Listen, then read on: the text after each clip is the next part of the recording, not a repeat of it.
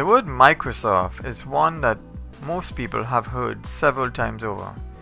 In fact, unless you happen to be living on a deserted island or under a rock, you could not get by without hearing about Microsoft.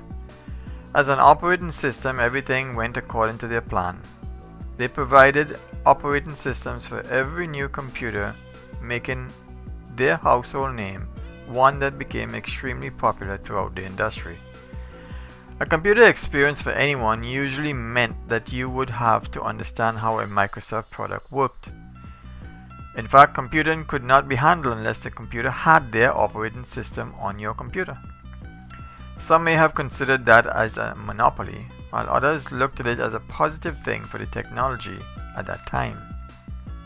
As it stands currently, others have the opportunity to get into the fray, and they have done so.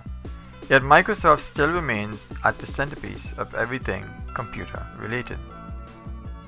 One of the problems with someone having that much control over an industry is the fact that they can overcharge for a product and even go so far as to gouge the customer.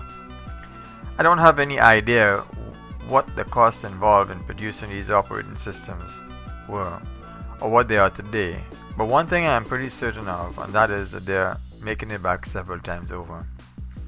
When we purchase a new computer, we feel we are getting our money's worth and we get a shiny new operating system for free. But I have news for you. The cost has been included in the price of your equipment. The retail price has been increased to adjust for any software on your spanking new machine. Yes, our good friends at Microsoft have definitely paved the way for all sorts of possibilities on the internet.